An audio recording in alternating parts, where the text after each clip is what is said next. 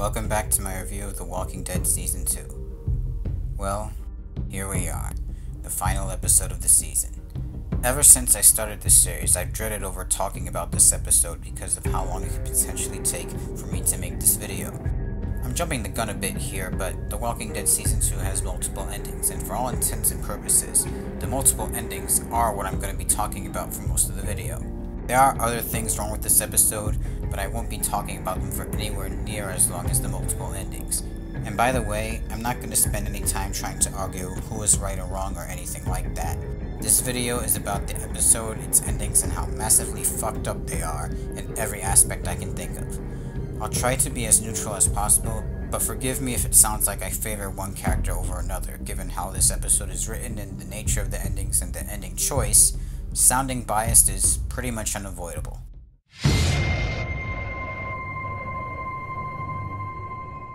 In the last episode, the group used a walker herd to escape from a compound where they were being held prisoner, but not without Sarita as a casualty. As Kenny grieves, the rest of the group is worried about Rebecca having to give birth to the baby soon, and the others. Clem and Jane recover Luke and potentially Sarah, and after talking with Clementine, Kenny rejoins the group and tells them what they need for the baby birth. The group secures what's needed and the baby is born. Oh, and Sarah dies if you saved her earlier, but who cares about that? The group heads to a nearby town where they are stopped by a guy Clementine met earlier, and he has his group ambushed and tried to rob Clem's group. The two groups go into a standoff, and Rebecca is too exhausted from childbirth, so she dies and becomes a zombie that needs to be shot, and this causes the Russians to start shooting at Clem's group. So after an episode ends like that, how can the season possibly continue? Easy, by not having anyone in Clementine's group die from the standoff. Okay, I have to calm down. This is the plot summary. I'll save my criticisms for later. In the shootout, Luke gets shot in the leg and Mike in the arm, and the Russians die except for Arvo and one other guy who's suddenly killed, and it turns out to be Jane, who literally backstabbed him. The group takes a moment to mourn Rebecca, and Kenny wants to kill Arvo for what he did, but for some inexplicable reason, the rest of the group doesn't want him killed. Arvo tries to save his own hide by telling them that he has a place where they can stay which has food. Kenny just wants to kill him, but the group decides to check out the place that Arvo's talking about instead. So wait, what about that town that you guys were headed to in the last episode? You're just going to forget about that now? Arvo gets tied up and he leads them to wherever this place is. Seriously, you're just going to forget about that town that you were headed to. I, I mean, really? The group takes a break along the way, during which time Kenny decides to name the baby Alvin Jr., or AJ, and by nightfall they come across this fenced structure, which is not the place Arvo is talking about, but the group decides to spend the night here. A part where the group actually sits down and relaxes for once? This is kinda nice. The next day, the group reaches the place Arvo was talking about, and it's a half-built shack. They don't want to walk across the ice, but Arvo insists that it's safe, so of course they trust him and walk across the ice. Walkers start to follow behind and Arvo makes a run for it. Then Luke falls into the ice and Clementine can try to save him, but he dies underwater anyway. Kenny's even more pissed off at Arvo now and starts to beat the shit out of him, which of course causes him to catch more shit from the rest of the group. At night time, Kenny tries to get a truck working, and despite people's doubts, he actually does manage to get it working. But the group doesn't agree with what he wants to do, which leads to another argument, and when Clementine goes back to sleep, she's woken up and finds Mike, Bonnie, and Arvo attempting to leave by stealing the truck and all of their supplies. No! You fucking piece of shit.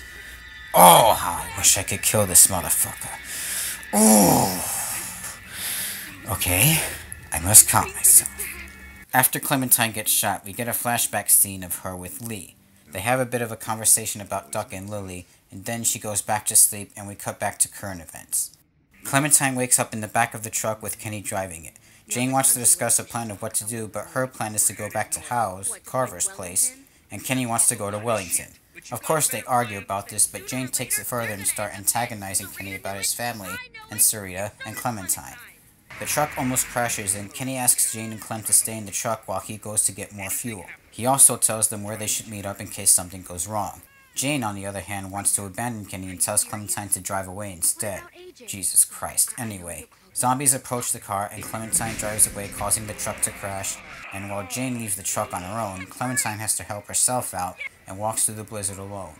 Eventually, she finds the rest stop Kenny talked about and finds him there. Jane then shows up and doesn't have AJ with her. She tells Clementine not to interfere with what happens next, then Kenny starts to attack Jane thinking she killed AJ. During the fight, Clementine is given an option to shoot Kenny, and for the first time in this season, what you do here radically changes what happens next. If you shoot Kenny, then he's fatally wounded and he and Clementine have a little moment before he dies, but then we hear a baby crying in the distance and it turns out to be AJ, found alive and well and inside of a broken car. It turns out Jane lied about the baby being dead, and the whole fight was a situation fabricated by her to prove to Clementine that Kenny was dangerous and that she was better off with her. Clementine is understandably angry with Jane over this since Kenny essentially died for no reason, but Clementine can choose to forgive Jane, which leads to them going back to Howe's and finding the place somehow not overrun with zombies. And after checking out the place, Clem spots some people approaching, and they ask her to let them stay with her and Jane. Clementine can choose to let them in, which leads to the woman thanking you, and then we see the guy actually has a gun in his back pocket. Then the kid comments on Clementine's hat, and then the episode ends. If you turn the family away, then it results in one of the most corny and stupidest moments in the entire game, and then the game just ends. If you don't shoot Kenny, then you can uh, kill him anyway for no fucking reason, or if you don't, then AJ is heard crying in the distance, and Clementine soon finds him in the car. If Kenny's alive, then Clementine questions why Jane would lie about AJ being dead, with Kenny basically saying that she was crazy and that if she didn't want to fight, she could have stopped at any time by saying he was alive. After they leave, we jump ahead to nine days later with Kenny and Clementine having a fun little race up a hill, and then they see a giant metal wall with smoke coming from the other side of it. They make a run for it, but are stopped by a gunshot and a woman telling them to drop their weapons. Of course, it turns out to be Wellington, but they're greeted with some bad news as they are currently overpopulated, so Clementine and Kenny can't stay there, but she gives them each a bag of supplies and sends them on their way, but then Kenny starts to plead for them to take just the kids. The woman tells them that they can take the kids, and we're given a choice to either stay at Wellington or leave with Kenny. If you stay at Wellington, then Kenny gives a sentimental goodbye and gives Clementine his hat for AJ to wear when he grows up and Clementine watches as Kenny walks away into the horizon as the Wellington gates close. If you choose to stay with Kenny, then he pleads for you to stay inside Wellington, but Clementine insists that she stays with him instead, and he lets her for some reason. And the woman mentions that in three months' time, there could be more room for people to stay, so they could all come back and stay together. The game then ends with Clementine and Kenny walking away happily together into the horizon. But wait, there's one more ending you can get. Clementine can end up alone with AJ by her side, and after coming across a herd of walkers, she cuts open a nearby walker corpse and rubs herself and AJ with walker guts to try to walk through the herd, and then the game just ends. This is the ending you get if you save Jane but chose not to forgive her, let Kenny live but then tell him he's too dangerous and choose to leave him, or let Kenny kill Jane and then kill him for no fucking reason. Jesus Christ. Okay, Let's not get too ahead of ourselves here. Let's take things slow and let's take things in order. Before I critique the story, I want to talk about the gameplay first because there's almost nothing to discuss. Okay, so episode 3 had the least amount of gameplay in the season so far and was considered to be the best, and episode 4 had the most gameplay since episode 1 and was considered to be the worst. So what did they do for episode 5? Go back to the way things were in episode 3. Once again, it feels like I'm watching a movie most of the time rather than playing a game. There's very few action sequences and barely any hubs with next to nothing to do in them. This episode's plot is bad enough, but the fact that I'm barely doing anything more than just making dialogue choices only makes matters worse. Okay, the gameplay is out of the way, let's talk about this horribly contrived mess of a plot. Right off the bat, we have a very serious problem as nobody in Clementine's group dies in the shootout, despite the fact that everyone was in a position to get shot. Instead, they all simply teleport behind cover, and the only injuries anyone suffers is Mike who gets shot in the arm but acts like he got shot with a paintball or BB gun, and Luke who gets shot in the leg. How stupid do the writers think we are? I'm really supposed to believe that no one in Clementine's group got killed or fatally wounded in the standoff? Really? Just how? How is this even possible? It's not. The entire group survives because the writers didn't know how they could continue the story without the other characters. What was even the point of ending the last episode the way it did? One of the biggest topics of episode 4 among fans was who was going to come out of the shootout alive. Well, I doubt anyone guessed correctly because everyone came out of it alive. The worst part of this is with Luke and Kenny. Luke doesn't even have his weapon drawn on anybody, and neither does Kenny if he shot Rebecca, making them the most obvious victims out of everyone in Clementine's group. I honestly would have felt better about Kenny being determined in this scene rather than at the end of the game, but that's another topic for later.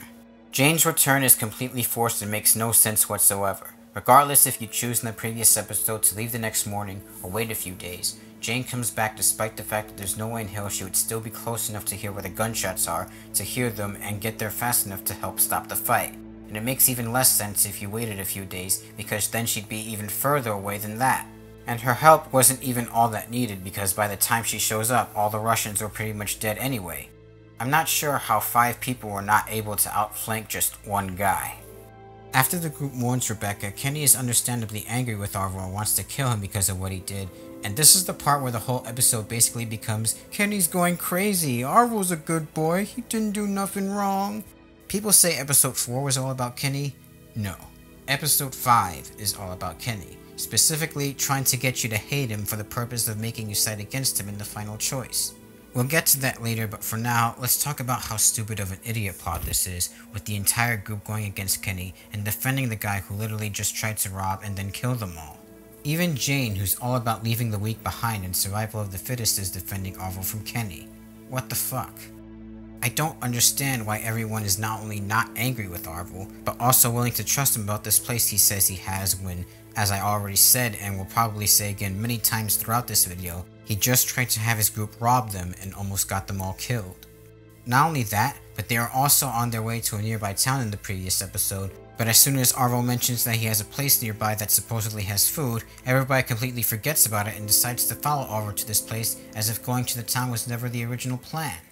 The scene around the campfire is nice. Season 2 never really had any moments where the characters sat down and actually relaxed and just talked until now.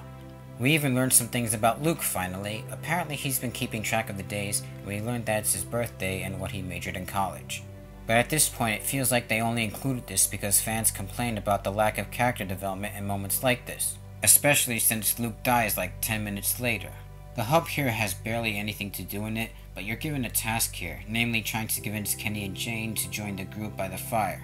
Of course Jane rejoins no matter what you say to her, so it's really all about trying to get Kenny to rejoin. I like how there's a determinant scene if you don't get him to rejoin, however. Bonnie has a bottle of wine that she snuck out of Carver's that she shares for Luke's birthday, and it's what you try to use to get Kenny and Jane to rejoin. But after you talk to both of them, Mike wants to offer some of it to Arvo who starts yelling at Mike to leave him alone. And if Kenny didn't rejoin, he knocks Arvo the fuck out to shut him up. I know I should probably have Kenny rejoin since he's holding the baby and the baby needs warmth more than anyone else, but considering what Arvo has done and will do later, it's cathartic watching Arvo get his lights punched out. Not to mention that his screaming will attract walkers if there are any nearby, so Kenny's basically doing the group a favor by shutting him up. Though it doesn't make much sense how quickly he punches him since he's holding the baby and he's behind the construct that's further away. How the hell did he get up, hand the baby to someone else, and then get to Arvo that fast? The baby basically teleports into someone else's arms while Kenny teleports to Arvo. There's also something else that I dislike about this part of the game, but I'll save that for later. The way Luke dies is really stupid. Actually, before I talk about that, I'd like to point something out first. When walking across ice, it's a bad idea for a group to walk single file. They should always spread out to avoid causing too much weight in one area. But of course, the group walks single file across the ice, and even though there's an option to tell them to spread out, and it even gives that they will remember that response, they still don't spread out and walk across the ice single file, and when the ice starts to break underneath Luke, he doesn't even try to move away from it right away. He just keeps standing there. Yeah, that's right, Luke. Just keep standing there while the ice continues to break, you dumb motherfucker. Bonnie can die here too, actually. If you choose not to help Luke yourself and don't break the ice to get her out, she'll drown with him, which I think is preferable to what happens if you save her. I'll get to that in a minute. Clementine falling into ice water and staying submerged in it for a prolonged period of time is scary, but considering that she's the protagonist and we're not at the end of the episode when it happens, it comes across as a shock value thing. It also really shows how plot armored she is because, really, an 11 year old girl surviving this, and then she's not even dried off properly. Even if she was dried off properly, there's no way she could get warm in that half built house they were staying in. It's far too exposed to the cold and to the wind for her to actually get warm. After Clementine tries to help Kenny get the truck started, she can talk to Bonnie before she goes inside. You know, if Bonnie's still alive. If you try to save Luke yourself, then Bonnie is nicer to Clem and even offers her to smoke a cigarette, but again, saving that for later. If you didn't try to save Luke and Bonnie is rescued, then she's very mean and hostile towards Clem, blaming her for Luke's death and being completely ungrateful that Clementine saved her life. And she even talks about how because she's a little girl, nobody expects her to do anything for them. Um, hello? Have you been paying attention at all, Bonnie? Clementine is the one who's been doing almost everything this entire season. We just not too long ago had a situation where you yourself asked Clementine to risk her life to save Luke. With all of this in mind, in addition to what she does later, I think it's safe to say, fuck Bonnie. I don't hate her exactly, but I sure as hell don't like her. Going along with how oblivious Bonnie is to what she's saying, Jane does the same thing by warning Clementine about Kenny talking about how he's just like Carver. I mean, really, Jane? You're the one who said we should abandon Sarah, didn't want Rebecca to give birth to the baby, and tried to convince Clementine to leave the group and even left your own sister to die. You're the one who's like Carver here. I understand that just because a character or characters are unaware of what they're saying, that it doesn't mean that the writers are unaware of it, but when you're unable to call them out on it, it sure as hell feels that way. Sure, you can disagree with Jane about Kenny being like Carver, but you can't specifically point out to her that she's the one who's like Carver, given how she shares Carver's Darwinist mentality. I should mention real quick here that Bonnie and Kenny both mentioned things that you did in episode 2 when you talked to them here, but again, it feels like they only included this in response to fans complaining about how your choices don't matter. The part where Arvo, Mike, and Bonnie, if she's alive, rob the group is probably one of the most angering scenes in the game, and for good reason. Mike wants to earn acceptance in the group but decides to defenestrate that by betraying Clementine to help the piece of shit that tried to rob and kill them earlier. And Bonnie decides to ruin her chance at redemption for the same reason, making this the second time she's lied to and betrayed Clementine. How can they possibly have any moral high ground in doing this? If all they wanted to do was get Arvo away from Kenny, then why didn't they ask Jane and Clementine to come with them? The fact that they're willing to essentially kill a baby and a child by leaving them with no supplies completely contradicts the supposedly good intentions of wanting to get Arvo away from Kenny. Originally, the option to ask to leave with Mike, which is a bullshit choice because the same thing happens no matter what, was an option of whether or not to shoot Mike instead. It was actually left in the PlayStation 3 version of the game on accident, but Telltale quickly patched it out the next day. It's possible to restore the option and its related scenes in the PC version by modding it. I have to wonder why they decided to take this out because... Well, I'll get to that later. Okay, now I think it's time I talk about this fucking piece of shit right here. I didn't bother talking about Arvo in the last video because there was really nothing to talk about. He shows up, tries to hide his medicine, we're given an option to rob him, and then we never see him again until the ass end of the episode where he has his group try to rob you regardless of your choice. Based on that alone, I think it's safe to say that Arvo's a piece of shit, but this episode cements it because he continues to be a piece of shit, and an irredeemable one as well. He hates Clementine for killing his sister, but he doesn't seem to be aware of the fact that she was a zombie. How the fuck does this guy survive two years into the apocalypse, and he still doesn't know that people come back to life as a zombie unless you destroy the brain? Not only that, but how can he not tell that his sister's become a zombie just by looking at her? The only way him being angry at Clem for this makes sense is that it doesn't matter to him whether or not if she was a zombie. But there's no indication of this because Arvo barely speaks and almost all the interaction with Arvo is between him and Kenny. And besides, everyone else understands that once somebody becomes a zombie, it's just best to kill them because they're already dead anyway, so why doesn't Arvo? It seems to me they just wanted a reason for Arvo to hate Clementine so shooting her makes sense, but it turns out to be completely unneeded because the circumstances in which she gets shot have nothing to do with Arvo's dead sister. Some people might say that he didn't mean to shoot her, like he was nervous so he shot her on accident, but I don't see how this can be possible because if you call for help, then of course Arvo is going to shoot. He's trying to silence her to avoid getting caught, which happens anyway because the gunshot is louder than Clementine calling for help, but that's another issue entirely. And if you comply with Mike and hand over your gun, there's nothing for Arvo to be nervous about, so how can he shoot her accidentally? Some people might say that this action might be justified depending on how Clementine treated Arvo or whether or not she chose to rob him, but here's the thing. In a game where most of what a character does is dependent on what the player does, the best way to judge what kind of character they are is to go by what they always do regardless of player choice. Seeing as how even if you don't steal his medicine, defend him from Kenny at every opportunity, and complying with Mike, he still shoots Clementine anyway, player choice has nothing to do with what he does. So, because he always does the same things no matter what, Arvo is irrefutably a piece of shit with no redeemable qualities. I don't understand why the group is not even angry with this guy for what he does, or why I'm supposed to agree with them about Kenny's treatment of him. Apparently, it's because he lost everything that I'm supposed to feel sorry for him, but that's entirely his own fault. If he didn't have his group come after Clementine's group in the first place, nothing bad that happens to him would have ever happened to begin with. I'm sure everybody defending Arvo is all part of Telltale's contrived writing of the group going against Kenny for the sake of trying to make the player go against him as well, but if Arvo was actually supposed to be a serious attempt at making a sympathetic villain, I don't see it.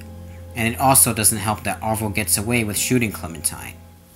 Okay, wow. That was probably the longest rant I've gone on so far, and I'm pretty sure I'll be going on a longer one before this is over. Anyway, let's talk about the Lee dream sequence for a bit. Honestly, I expected something like this to happen in this episode because what better time to have a Lee flashback? I also expected Clementine to get shot, but at the beginning of the episode, not now. But hey, what better way to transition to a Lee scene than by having Clementine get shot for shock value than have her pass out? Sorry. The Lee scene was emotional for me, but not as much as I thought it'd be. I didn't cry during it like I expected to. I guess you could say it acts as a foreshadowing of what's coming next, with Clementine talking about how she doesn't want to hurt anyone. But I didn't really feel that way after playing the episode, and I'm still not entirely convinced of it now. I gotta say, it feels weird having Lee be a character you interact with rather than play as, but I'm happy to say that none of the dialogue choices here feel out of character for Clementine. It manages to take place during Season 1 without contradicting anything from it. Though you can tell from listening to Clementine's voice here that Melissa Hutchison, Clementine's voice actress, can't do the Season 1 Clem voice as well as she used to. She kinda sounds like Season 2 Clem if you listen carefully, and I'm sure that's because she got so used to doing the Season 2 Clem voice. It's a fan service scene, but I don't think the game really suffers from it. It's still emotional for me nowadays, but not as much as before. More than anything, it just makes me wish I was playing Season 1 again. And yeah, Clementine getting shot was just for shock value and to give us a Lee flashback so we can jump ahead to what's coming up next. Just to show, once again, how much plot armor Clementine has, the fact that she got shot means absolutely nothing. After Clementine wakes up from getting shot, it's almost completely forgotten about. Kenny and Jane mention it as soon as she wakes up, and Jane mentions that they couldn't find the bullet, so it must have gone straight through, but after that, there's absolutely no mention of it again. Hey, say what you want about the Walking Dead TV show, at least when Carl got shot, with the way it was treated and the way the other characters acted, it felt like his life was in danger. It doesn't feel that way at all when Clementine gets shot. She wakes up from it, and it's like nothing happened. She doesn't even appear to be physically impaired from getting shot. There are so many things wrong with everything that happens from this point on. I'm not only not sure where to begin, I'm not even sure if I can cover everything that's wrong with everything that happens next. I'll certainly try to, but forgive me if there's anything I overlook or forget to mention. This is an absolute clusterfuck of bad decisions made by the developers. First of all, why did Jane suddenly start making such unwarranted attacks on Kenny and his family? Where did all of this hatred for Kenny come from all of a sudden? There's no build-up or foreshadowing to it. She didn't show this much hatred for him earlier. This doesn't make any sense. I know she's just riling him up for later, but still, this abrupt hatred for Kenny comes so out of nowhere, it's out of character for her. Not to mention that antagonizing and distracting someone who's driving is a really stupid thing to do. I mean, look, they almost crashed because of this shit. I'll admit that Clementine walking through the blizzard on her own made me anxious, and I was a bit worried about what's going to happen next. But oh boy, was I not expecting what happened next. God, where do I even begin with this shit? I don't know if Telltale meant for the player to know or figure out that Jane fabricated the situation, but Jane telling Clementine not to interfere is a subtle hint that she's up to something. Of course, this plan is retarded for a number of different reasons, and there are so many conflicting things about all of this. Obviously, the whole reason why Jane lied about the baby being dead is so she can provoke Kenny into a fight and kill him in what seems like self-defense so she can be Clementine's new caretaker. Jesus Christ, okay. So the first thing Kenny does when Jane shows up without the baby is ask her where he is, and he goes out to look for him. He comes back after not having found anything and accuses her of killing him, but what if Kenny had found AJ? What if AJ started to cry and lead Kenny right to him? What if instead of trying to kill her, Kenny started questioning Jane about what happened or asked her to take him to his body?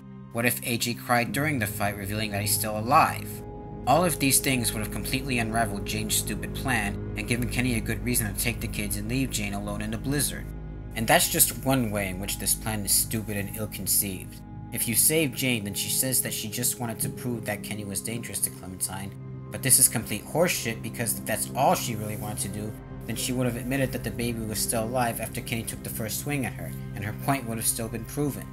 Nobody had to die. But because she really wanted to kill Kenny, she kept up the lie to the point where she was willing to die to keep it up, which I'll get into in a minute. She even outright admits this is what she wants to do if you pick a certain dialogue choice during the fight. She had full killing intent despite what she says later, and not only that, but if Kenny was really as much as a danger to Clem as she claims, then surely Clementine would have been okay with her killing him unprovoked, especially since this idea that Kenny's losing it is something that Clementine can agree with. There was no need to provoke him or prove that he was dangerous if he really was. Jane just wanted to kill him to have Clementine to herself because, well, the reason why is never really made clear. Fans theorize that because Jane feels bad about what happened to her sister that she wants to make up for it by taking care of Clementine, but what was her fucking problem with her doing it with Kenny around? Not to mention that it's creepy that she thinks of an 11 year old girl that isn't related to her in any way, and that she only met a few days ago as a replacement for her dead sister. Holy shit, on top of being like Carver and Molly, she's now also like the stranger from season 1. Look, it doesn't matter why Jane wants Clementine to herself, the real problem here is that her motive doesn't mesh with her stupid plan. If she really wanted to create a situation where she could kill Kenny in self defense, then why didn't she prepare better for actually killing Kenny? Like, she's just cocky enough to think that she can just kill him with her knife and that would be the end of it? And then Clementine is just supposed to accept that? She obviously doesn't want Clementine to get in her way, so she tells her not to interfere. But what if Clementine decided to end the fight by shooting Jane instead of Kenny? And again, what if Kenny didn't attack her? Then what was she going to do? Even worse, what if Clem went against Jane's wishes and tried to intervene in the fight and got killed as a result? Yeah, it sure was worth starting this fight, wasn't it, Jane? We also have the problem with the fact that even when she's about to be killed, she doesn't tell Kenny that the baby is still alive. If you let Kenny live, then he tells you that she could have ended the fight at any point by telling him AJ was alive. But even when she's about to die, she doesn't do so. It doesn't make sense for someone with supposedly strong survival instincts like Jane to be willing to die to keep up a lie. And her stupid plan obviously can't work if she's dead, so why doesn't she just tell Kenny that AJ is alive? Is she relying on Clem to end the fight so much at this point that she doesn't want to fess up? Oh, so she goes from stay out of it, Clem, to Clementine, help, rather than admit to Kenny that AJ was alive all along. If I were to try to rationalize this, I'd say that Jane doesn't want to say that the baby's still alive because she knows that Clementine and Kenny wouldn't let her stay with them if they found out. So Jane's entire plan hinges on her killing Kenny and either Clementine or Kenny finding out that the baby's still alive. But again, she can't be with Clementine if she's dead. Even if it meant that Clementine wouldn't want to be with her, at the very least she could save her own life, maybe even find another little girl that she can imprint her sister's image on. Hey Jane, is the loyalty of an emotionless 11 year old girl you barely even know and only met a few days ago really worth more than your own life, you dumb bitch? The only reason I can think of for why she doesn't want to admit the baby is alive, even when she's about to be killed, that makes sense, is that she wants to be Clementine's surrogate sister so much that she doesn't want to live if she can't have her. I mean, if you decide to walk away from her after finding out that the baby is alive, she begs and pleads for you to stay with her, even saying, I can't do this alone implying that she cares about Clementine more as a tool for survival than an actual person, or at the very least meaning that she doesn't want to live without Clementine. She would rather die than not be with an unrelated 11 year old girl that she barely knows and only met a few days ago. That is creepy as fuck. Another reason why Jane trying to prove to Clementine that Kenny was dangerous doesn't make sense is because, given how earlier in the episode Jane was already talking to Clementine about Kenny and trying to warn her about him, and how it happens after he beats up Arvo, it should already be apparent to Clementine that Kenny is dangerous. And shit, she could have already watched him kill Carver in episode 3. So what point needed to be proven? Especially since, again, this is something that Clementine can already agree with. And going back to season 1, being dangerous isn't exactly a bad thing in a world where the zombie apocalypse has happened. Carley says as much to Lee when talking about him being a killer. It's not about whether or not you're dangerous, it's a matter of who you're a danger to, and Kenny was clearly not a danger to Clementine, no matter how much Jane wants Clementine to believe it, even though she never specifically says he was a danger to Clem, just that he was dangerous.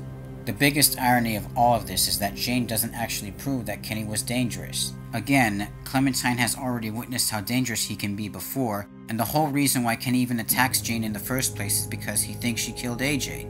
That would anger anyone with parental feelings. Lee would have done the same thing if he thought someone had killed Clementine. When Andy St. John simply grabs her, he can say, I'll kill you! to him. and you actually can kill him later on. Hell, the stranger didn't even hurt Clementine, and Lee can kill him. So Kenny reacting this way really doesn't prove a goddamn thing. Now, being fair here, Kenny most definitely could have handled the situation in a smarter way. Like I already said, if he had questioned Jane about AJ instead of immediately trying to kill her, it would have completely ruined Jane's plan. She tells him that was an accident, and he doesn't believe that because, come on, this is Jane we're talking about here. Of course she's going to say that was an accident. She wouldn't admit to outright killing the baby if that's what she actually did. But Kenny doesn't question her, not even saying, oh yeah, well if it was an accident then tell me how it happened, not even during the fight. He didn't find AJ obviously or anything else that confirmed he was dead as far as we know, so he should have tried harder to find out what happened instead of jumping straight to killing her. I mean, saying that was an accident pretty much confirms that he's dead, and Jane is trying to come up with an excuse for how or why it happened, but Kenny should have still asked for specifics to make sure that she wasn't lying. Really though, none of this matters. When you get right down to it, the real reason why Jane never tells Kenny that the baby is alive, and why Kenny never asks Jane what happened to him, is because that would have caused this terrible climax that the writer spent multiple rewrites bullshitting into existence to completely fall apart. No amount of trying to provide logical explanations for any of this is going to make it any less nonsensical. But you know what? Despite all of that, I still think it's possible that this could have been a good climax. It's just that the execution is fucking horrible. I think what Telltale might have wanted to do here was create a situation where it was ambiguous as to who was in the wrong here if either of them were. But the problem is that instead what they did was characterize Kenny as some sort of villain here when it turns out that he was completely in the right all along. The entire episode is spent trying to get you to hate him or at the very least doubt him by saying that he's losing it, going crazy, etc. The problem is that Kenny never actually does anything that actually shows him to be crazy. He gets way more angry than he usually does in this episode, but getting angry is not the same thing as going insane. Otherwise, by that logic, everybody who gets mad is a psychopath. If they really wanted us to doubt Kenny, then they should have had him talking to himself, seeing hallucinations, twitching, erratic body language. Have him behave like an actual crazy person would. Instead, Telltale's method of getting people to believe Kenny's crazy is simply repeating it until people believed it. And needless to say, it actually worked.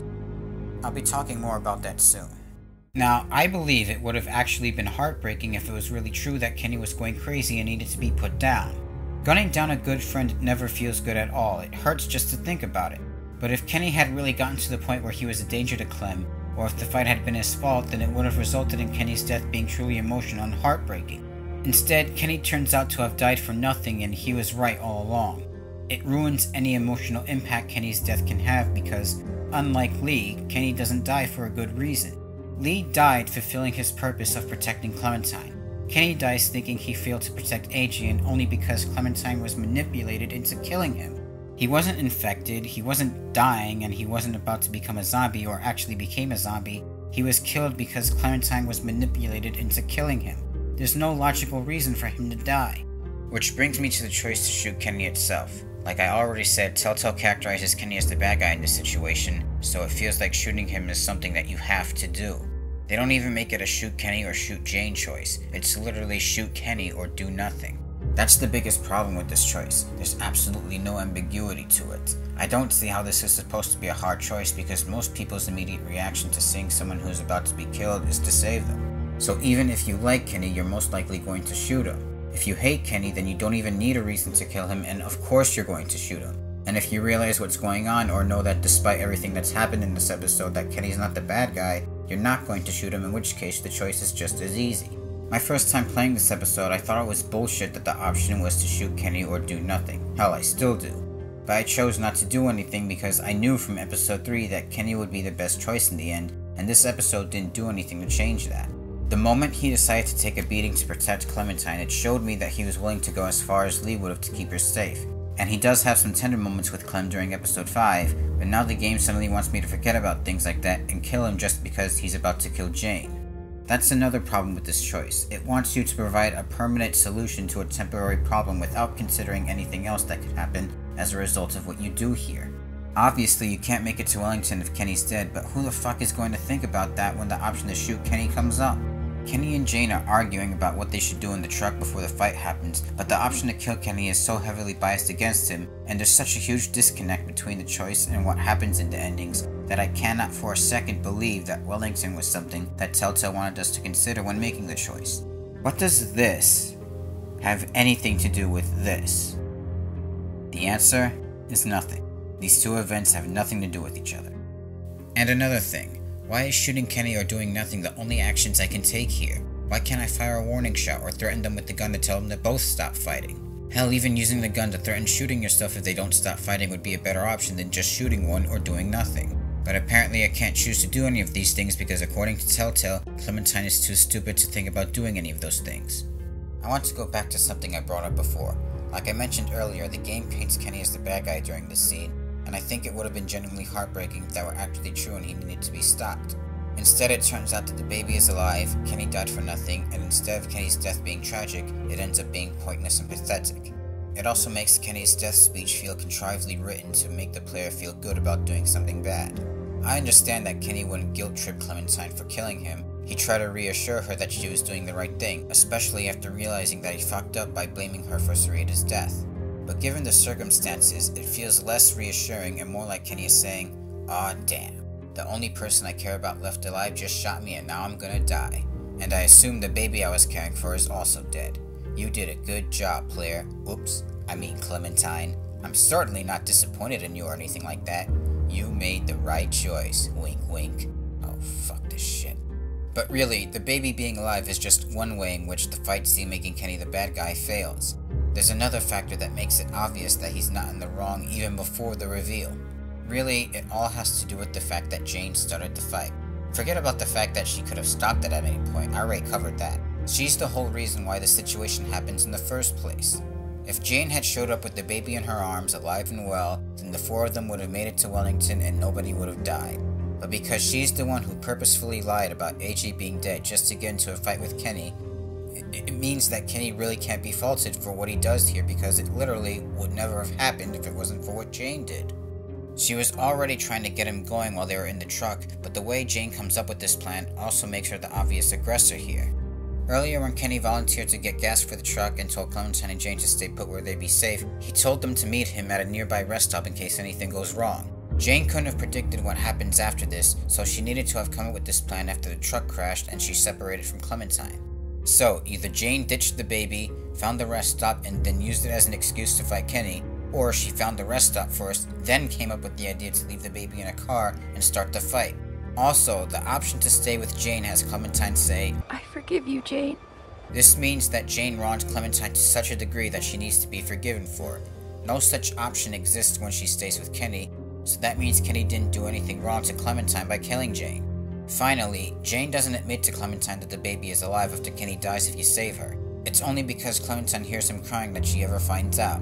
Seeing as how Jane came up with the situation to kill Kenny in self-defense so she can have Clementine to herself, knowing that Clementine wouldn't be okay with killing him outright, and how she immediately starts defending herself and begins pleading with Clem to not abandon her, it's pretty clear that she was never going to tell Clementine that the baby was still alive. And without Clementine knowing that the baby is alive, that means that they would have moved on without him, which means that AJ would have been left all alone in the car to either freeze and or starve to death, which means that Kenny wouldn't have killed Jane for no reason because she actually did cause him to die. And this goes for if you let Kenny live too. His assumption that AJ is dead would have been true if they didn't hear him crying after the end of the fight, and by the way, how convenient that he starts to cry just as soon as the fighting stops. I know it might sound like I'm trying to argue who is right or wrong like I said I wouldn't, but honestly, this is just how the game was written. Kenny being made out to be the bad guy here just doesn't match up with what actually happens. Some might say that it was done to make it a hard choice since you've known Kenny longer than you've known Jane, but I really don't want to give Telltale credit for having put that much thought into it. And again, it fails to be a hard choice if you hate Kenny because you wanted him dead anyway, so why would killing him be difficult for you? From the way the situation is set up, it's very clear that Telltale wanted players to kill Kenny here. This isn't tailoring the story based on your choices, this is Telltale tailoring the story to make the choices they want you to make. The question is, why would they do this? Why would they go so far out of their way to deceive players into getting the bad endings? This isn't the first time that Telltale has done a deceptive choice. In The Wolf Among Us, and I'm sorry for spoiling this a little bit for those who haven't played it yet, there's a choice to either go to Mr. Toad's apartment first or investigate Prince Lawrence's apartment. Mr. Toad had just called Bigby to tell him that someone's in his apartment building going through the woodsman's things before getting the call cut off, which makes you think that it's more urgent to see Mr. Toad first. But if you go to Mr. Toad's apartment first, then Prince Lawrence dies and there's no way to save him. You can only save him if you go to his apartment first. To give a more relevant example, in 400 Days, a DLC for Season 1 of The Walking Dead, a man is found sneaking around outside one of the protagonist's group's settlement. The leader of the group wants to kill him because this man could be part of another group and he would tell them where this group's settlement is, which could lead to an attack. But other members don't want to kill him because they don't know if that's the case and they don't want to kill an innocent man. Because this game typically wants you to be merciful towards everyone, you'd think that letting him go would be the better choice, but it turns out that he did in fact belong to a group, and one of your own group members gets killed if you let him live. I have a problem with deceptive choices already. I can understand why they're done, but I think making a choice ambiguous is best done with the presentation of the choice itself, making the player unsure of what they should do, rather than giving the choice an unexpected and in this case contradictory result. This is a particularly egregious example, however, because it's a deceptive choice that determines what ending of the game you get. Why would they want to deceive players into getting the bad endings? The only reason why I can think of why they would want to do this is favoritism towards Jane. They wanted players to pick Jane over Kenny but couldn't come up with any good reason for why Clementine should pick her over Kenny, so they came up with this forced, contrived bullshit fight that's completely stacked against Kenny to make sure that players chose her over him. Because seriously, there's no reason for Clementine to support Jane with what she does here. You don't lie about a baby being dead just to provoke someone into a fight, and you certainly don't use it as an excuse to kill that person. What Jane does here is completely unforgivable, and the only reason why you'd want to forgive Jane is because you hated Kenny, or because you don't think Clementine should be on her own, because let's face it, despite the plot of this game hinging on the adults relying on Clementine to do things for them, Clementine can't take care of herself. She was as good as dead in episode 1, and being a child, she is physically weak. She could have died multiple times if it wasn't for her plot armor completely destroying any sense of realism that this game is supposed to have. Again, the Jane endings could have been okay if Kenny had turned out to be a bad guy, but since the baby is still alive and Jane is the cause of the fight, it makes Jane the villain and Kenny's endings are the only viable ones. Kenny's voice actor, Gavin Hammon, said that most playtesters didn't shoot Kenny, so the choice was changed, and there's unused animation files still in the game that shows Jane getting the upper hand in the fight rather than Kenny, and Kenny and Jane literally at each other's throats. It would seem that originally the option was to shoot Kenny or shoot Jane, but did they change it because they actually thought it would make the choice more difficult, or because they wanted to get as many people to shoot Kenny as possible? With how much the situation is unfairly biased against him, I have to believe it's the latter. Before I move on to finally talk about the endings themselves, I have one last complaint about the fight scene. Why the fuck is there a second option to shoot Kenny? When I played this episode for the first time, I seriously thought this was a glitch. Why the fuck would I want to shoot Kenny at this point? The whole reason for shooting him was to stop him from killing Jane, so why would I want to kill him if she's already dead? It's already possible to get the alone ending by leaving Kenny after he survives the fight, Granted, it's hidden behind another dialogue option, but why do we need an option to kill him after he kills Jane if we already have this? This is the biggest problem I have not just with episode 5, but with the game as a whole. I mean, wow, what a way to completely ruin what was left of Clementine's character. Don't get me wrong, Season 2 already did a lot to ruin what made Clementine a good and likable character in Season 1, but this, along with another moment, pushed her character beyond redemption. It's part of a problem with episode 5 overall. This is easily the most out of character Clementine can behave in the entire season. She's given more options to swear than in any other episode, including her first F-bomb. She's given an option to smoke, and she's given an option to drink alcohol again. All for the sake of fan service. That's the best way to sum up episode 5. Until the Kenny vs. Jane fight, nothing much happens in this episode except for Clementine potentially acting out of character for the sake of pandering to fans who like her because she's a badass little girl. This is the most obvious example of that, and I don't even know where to begin with explaining why this is out of character for Clem. I already mentioned that there's no reason to kill him here because the original reason for doing so is to save Jane, but now that Jane's dead, why kill him? Clementine wouldn't kill Kenny here because she cares about him. Clementine has no real character in Season 2, she's mostly just a sock puppet for the player to project their personality into, but one thing that is consistent about her character is that she cares about Kenny. She's always happy to see him when they meet at the ski lodge regardless of Lee's relationship with Kenny. She's always upset by Carver beating him, she's always happy to see that he's okay after he wakes up from the beating. Out of all of the game's endings, she's happiest when she stays with Kenny, and if she kills him in the first option to shoot him, she's heartbroken and cries over him. Even if there are options to go against Kenny, it doesn't make her happy to do so, and unless you make those choices, Clementine likes Kenny, or at the very least, is okay with him. And besides that, he's the last connection to Lee that she has. Why would she want to take this away from herself? Even ignoring the fact that it's Kenny, Clementine doesn't execute people. It's just not who she is. She didn't enjoy killing the stranger or Lee if she did that, and she didn't get enjoyment out of killing Sam the dog. Granted, it's not murder in those cases, but the point stands that Clementine is not a murderer, and she doesn't enjoy killing people. This is why the time skip in episode 1 is such a big problem. It's just a lazy way for the writers to make Clementine act out of character, because she's different now. Really, the only reason why this choice exists, aside from being part of allowing players to project their personality into Clementine, is to pander to people who hate Kenny because really, who else would want to do this? And just to further add to that, I've seen plenty of people complain about how you can't shoot Jane after killing Kenny, despite the fact there are two options to kill Kenny. Now, I don't think Clementine should have an option to kill Jane after killing Kenny because, like I said, it would be out of character for her, but I'd have less of a problem with her doing so because it'd make a greater deal of sense for her to do so. The fact that there are two options to kill Kenny but none to kill Jane is part of the character bias I mentioned earlier. The developers clearly wanted you to pick Jane over Kenny, or at the very least, not pick Kenny. And lastly, if there is no option to kill Kenny after he kills Jane, can you honestly tell me that anyone besides the people who hate Kenny would want an option to do that? Especially after finding out that the baby was still alive? I can't imagine. Another reason why this option shouldn't exist is because it's completely contradictory to how events play out in the other options. Going back to my point about how Clementine cares about Kenny, she's heartbroken, sad, and crying in the first option to shoot him. She doesn't mean to kill him, she was just trying to stop him from killing Jane. And if you let him live but decide to walk away from him or stay at Wellington, she's sad and crying over the fact that she's leaving him. She wants to be with Kenny because she clearly cares about him. Why would she want to kill someone that she cares about for no reason? On the flip side, Clementine clearly doesn't care about Jane. No tears are shed for Jane when she dies, not even in this option. And why would she? Who the fuck is Jane to Clementine? She's known her for about three days at most, and now I'm supposed to believe that she cares more about Jane than Kenny? No, I don't believe that. That's literally unbelievable. Remember how I mentioned earlier that Telltale removed an option to shoot Mike?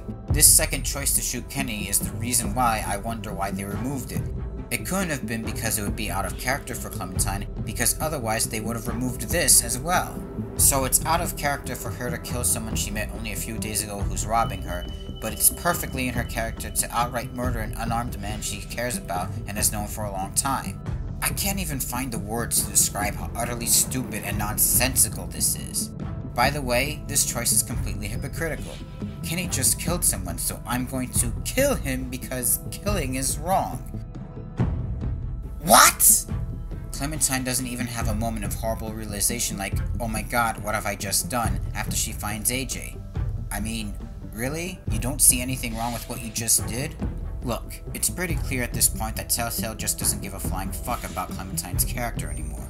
They want to make the fans happy, so they'll have her behave any way they want her to to accomplish that. It doesn't matter if it doesn't make any sense or if it's out of her character, they'll use time skips and any other flimsy justifications they can come up with to make it happen. If they really cared about Clementine's character, then they would have written the choices you can make with her to actually be in line with what's been previously established about her, not to mention what's actually appropriate for the situation. Either that, or you give me a damn good reason why I should believe that Clementine is suddenly capable of something like murder. Let me put it this way. Call me a bad influence if you want, but my little brother who's 11 years old played this game and when he got to this point, he actually asked me, why would you want to shoot Kenny here? An actual, real 11 year old, same age as Clementine, knows that killing Kenny here makes no sense. That should sum up why this choice is stupid and unnecessary. You know, in case everything else I just said didn't explain it well enough. Fuck this scene, fuck everything about it, and fuck Telltale for even thinking of including it in the first place. Okay, maybe that was a little out of line.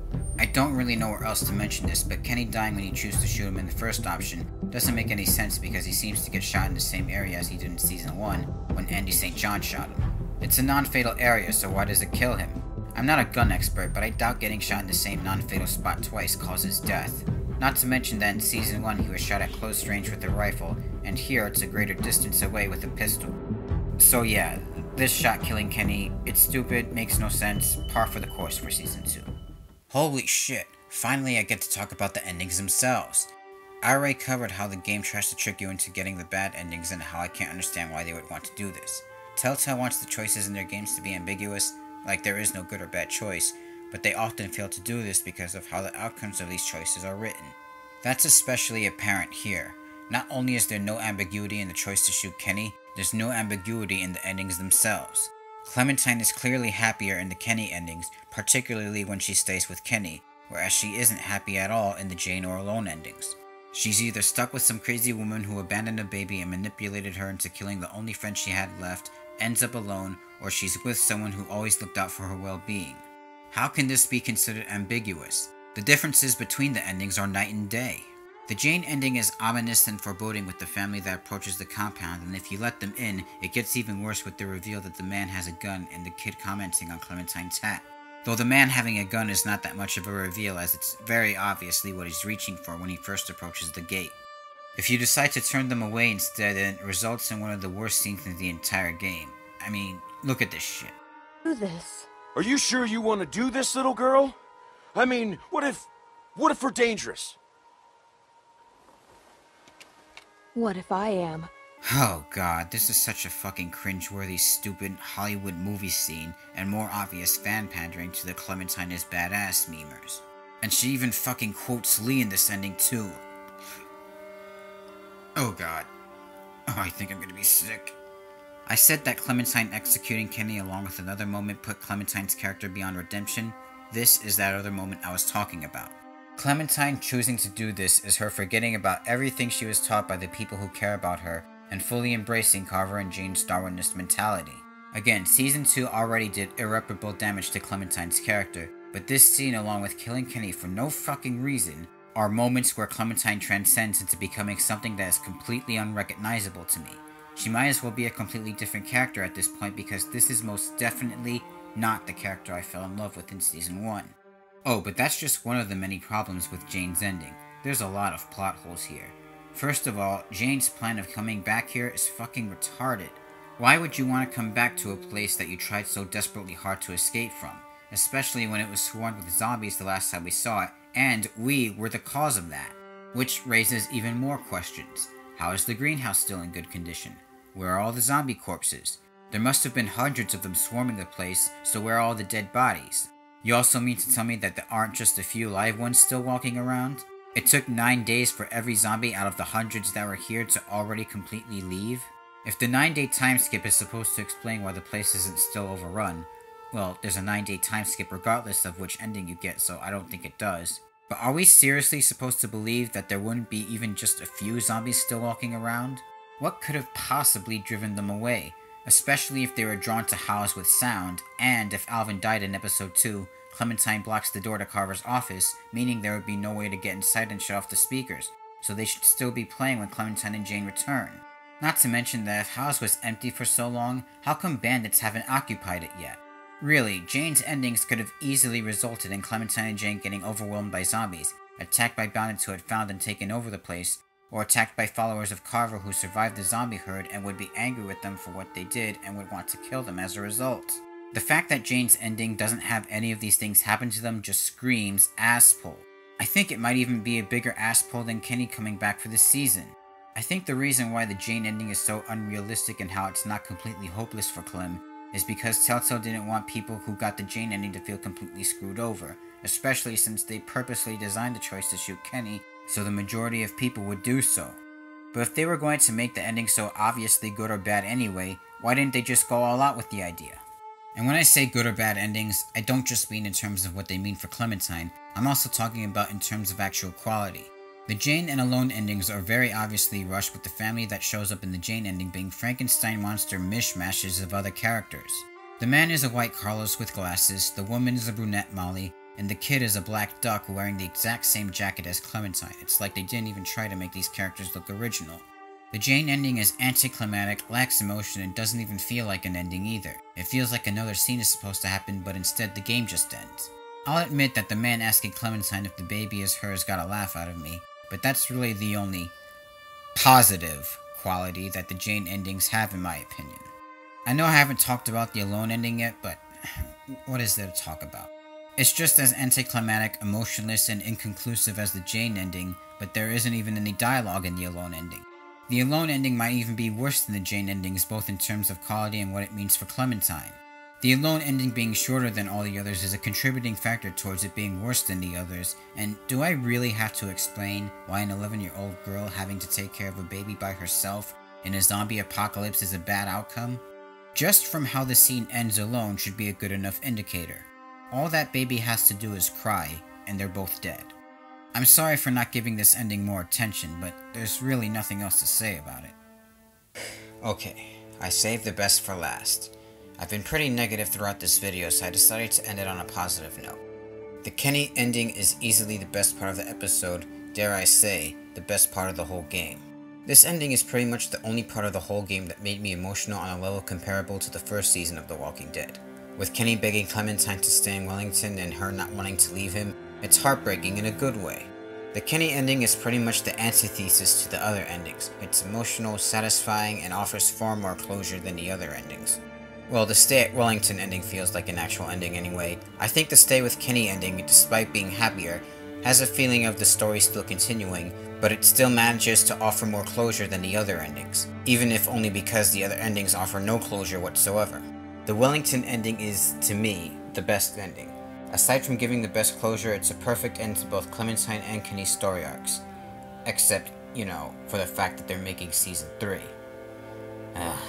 Well, it's a perfect end for Kenny's story arc anyway. He finds redemption in it, making a sacrifice that's almost comparable to Lee's, and it gives him a far better and more respectable send-off than the other endings. Actually, there's something I neglected to mention earlier. If you let Kenny live but decide to leave him, then he gives you the same speech as when you stay in Wellington.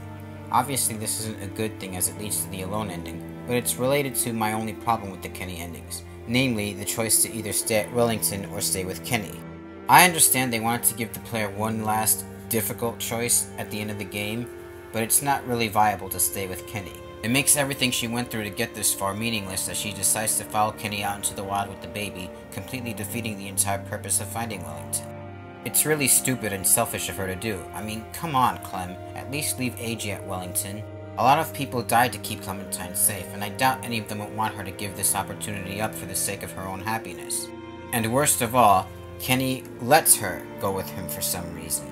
Kenny should ignore Clementine's plea to stay with him and make her go into Wellington with AJ anyway. It would be a lot more selfless and less stupid of him to do so. But that's really the only major problem I have with the Kenny ending. Some people have said that Kenny's plan was stupid and risky too, and to be fair, he in fact did not know where Wellington was other than it being near Michigan. He also wasn't even sure if it actually existed, but I call bullshit on that as part of the developers trying to get you to side against him, as he didn't doubt its existence before episode 5, and the game didn't really do anything to make us doubt its existence before episode 5 either. Yeah, this is something else I forgot to mention. Part of the reason why people are against Kenny's plan to go to Wellington is because they believed it didn't really exist, but nobody was opposed to this plan when Kenny said it's what they should do when he said it back in episode 4, so why are they all suddenly against it now? But even if he didn't know where Wellington was, Kenny's plan is still better than Jane's because even if they never found Wellington, it wouldn't have been any different from what Clementine and Krista were doing when they were trying to find it. So there's really nothing to lose and something to be gained from trying to find it, whereas with Howe's, it might have made for a good settlement before, but after the condition it was left in, they would just have to leave it again eventually with what little food was left. Not really a good long-term plan. And I don't think Telltale would want the Kenny ending to be just Clementine and Kenny trying to find their way to Wellington, because then the ending would be hopeless no matter what ending you got. And speaking of Krista, I doubt she would want to try to find Wellington unless she thought it was worth the risk. I mean, this is Krista we're talking about here. She might not be a cold, pragmatic survivalist like Jane, but she's still very cautious and untrusting of others, so I seriously doubt going to Wellington is a bad idea if it's something she wants to do, and she certainly sounded certain about its existence. Maybe she had more information about it than Kenny. Not that we'll ever know since Telltale decided to kill her off in favor of some underdeveloped red shirts. Looking for Wellington is worth the risk in my opinion, even if worsening weather conditions make it a bad idea. And Kenny actually finding Wellington might be considered just as big of an asshole as Howe's suddenly being zombie free and undamaged, and I would agree with that if finding Wellington was an idea Kenny came up with out of the blue and he just happened to be right, rather than being something that was established by the game at the very beginning. I haven't said everything I want to about the endings yet, but I want to cover those things in the next video, and honestly this video is long enough as it is. Holy shit! Finally, it's over. Christ, I thought that was going to go on forever. Like I said, this is pretty much fan service, the episode. Nothing much happens until the fight with Kenny and Jane, and the game strongly encourages you to side against Kenny, which leads to an unsatisfying ending. I haven't played every Telltale game just yet, but I think I can safely say that this is the worst episode of any game Telltale has ever made. There's just no way anything else they've done is this overly flawed and nonsensical. I'm not quite done talking about this game yet though. I still got one more video to do on this game since there's still a lot of stuff I haven't talked about yet, either because it's not specific to any one episode, or because I couldn't find a place to talk about it in any of my other videos. So with that said, I'll see you guys next time for the finale to my review of The Walking Dead Season 2. Thank you guys for watching, see you in the next video.